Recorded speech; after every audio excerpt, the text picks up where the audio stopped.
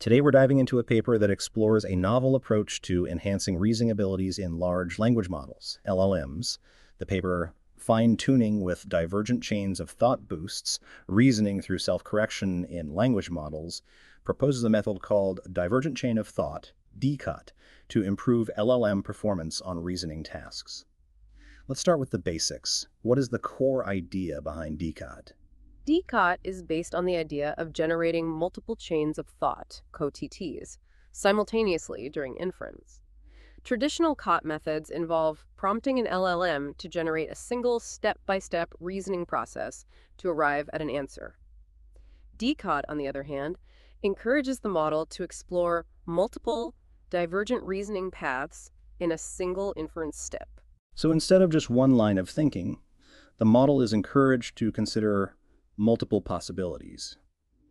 How does this approach differ from existing methods that generate multiple COTs?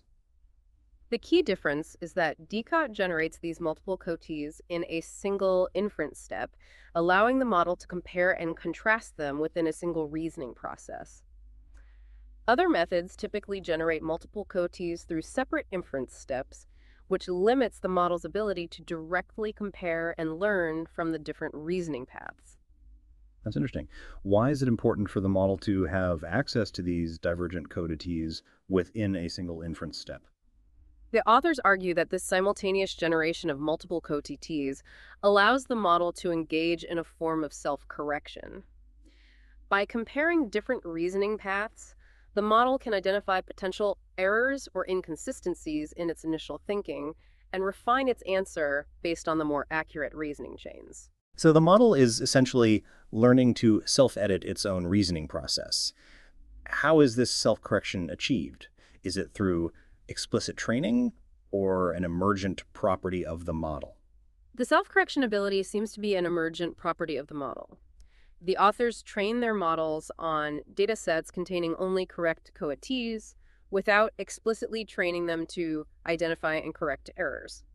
However, by generating multiple COTs, the model appears to learn to identify and leverage the more accurate reasoning paths, effectively self-correcting its initial answer. That's fascinating.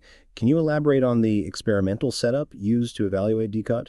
The authors conducted a series of experiments across different LLM families and sizes, including Phi 1.5, Phi 2, and Llama 2 models. They trained these models on a variety of reasoning tasks, such as those involving logic, conditional reasoning, and multi-hop reasoning. They compared the performance of DCOT models to baseline COT models, as well as to models using self-consistency, a method that also generates multiple COTs, but through separate inference steps. What were the key findings of these experiments? The results showed that DCOT consistently outperformed the baseline COT models across all tasks and model sizes. The authors also found that DCOT models benefited from self-consistency, further enhancing their performance. Importantly, they observed that DCOT models achieved significant performance gains even when generating only two COTs, suggesting that the self-correction mechanism was at play. So the, the model's ability to self-correct was not just a result of ensembling multiple outputs, but rather a consequence of its ability to learn from the divergent reasoning paths generated within a single inference step. Can you provide some specific examples of how this self-correction manifested in the experiments? The authors conducted a manual analysis of the model's outputs, focusing on instances where DCOT generated a correct answer after an initial incorrect COT. They found that in many cases, the second COT generated by the model exhibited a different reasoning pattern than the first, leading to a more accurate answer. This suggests that the model was able to identify and correct errors in its initial reasoning process. This is a significant finding. It suggests that DCOT not only improves performance, but also enables LLMs to develop a new level of reasoning ability, allowing them to self-correct without external feedback. What are the potential implications of this research? This research has several potential implications. First, it suggests that instruction tuning can be used to encode complex reasoning abilities into LLMs, beyond simply improving their ability to follow instructions. Second, it opens up new possibilities for developing more robust and reliable LLMs that can reason effectively and self-correct their errors. Finally, it highlights the potential of emergent abilities in LLMs, where complex behaviors emerge from the model's interactions with data and prompts. This is a very promising development. However, are there any limitations to DCOT? One limitation is the context window of the LLM. The authors explored generating up to four commentees, but the number of commentees that can be effectively generated is limited by the model's context window. Another limitation is the computational cost of generating multiple commentees, especially for larger models. The authors acknowledged that they were unable to conduct extensive experiments on a 70B parameter model due to these costs. So there's a trade-off between the potential benefits of DCOT and the computational resources required. Are there any other potential challenges or ethical considerations associated with this research?